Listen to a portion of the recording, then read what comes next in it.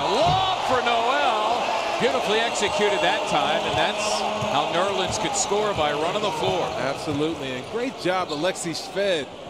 We already talked about how important it is to get Nerlens going early, man. He did a great job running the floor, just rewarding him for running, and now Nerlens is going to be that much more dialed in.